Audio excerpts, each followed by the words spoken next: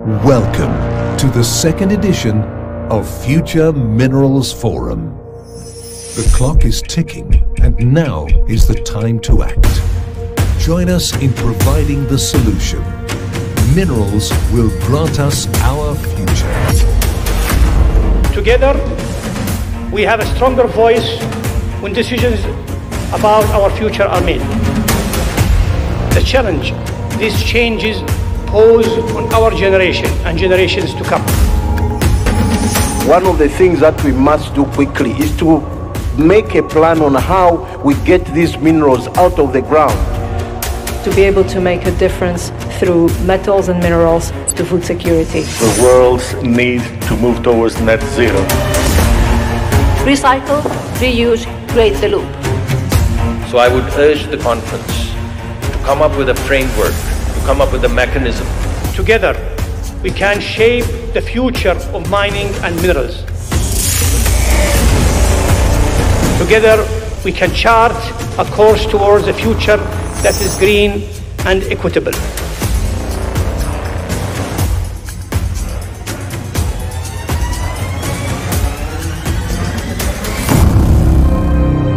For the next two days, Riyadh will be the center of global mining industry.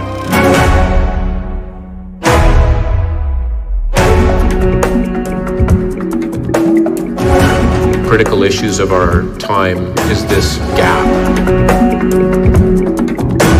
The kingdom has brought all of the necessary enablers together.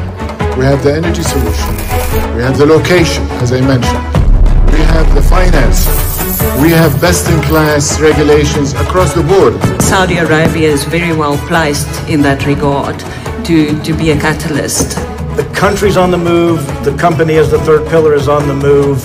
Um, collaboration is absolutely required, and we are definitely open for business. And I'm really very impressed for uh, this event. We also need to focus not just on the mining side, but also on the mineral processing side. I think the biggest mistake governments and policymakers make is thinking about windfall tax. Saudi Arabia is an exciting place um, with a very young population. We're finding excellent, excellent staff.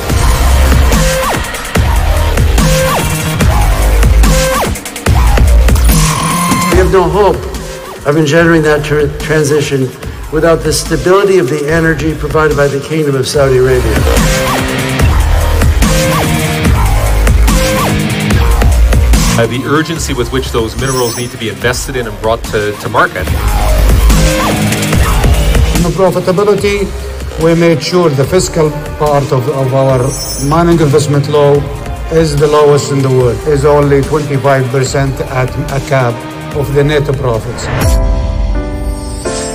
To have a leader in the name of his, the king himself, and of course, the leader of the Vision 2030, if we are anguishing trying to achieve these goals, he is more anguishing and more adamant to achieve these goals.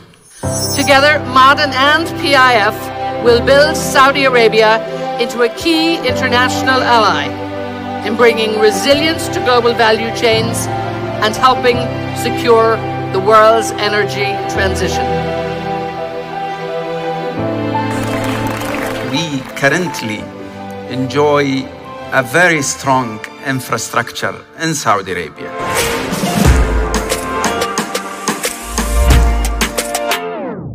The kingdom has an incredible opportunity to utilize their existing oil infrastructure to extract lithium from their oil well brines. I think that's important for the for the mining developments to go faster.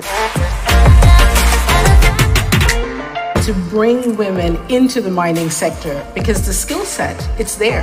Absolute leaders uh, in women in mining, uh, gender diversity, equity, and inclusiveness in Australia.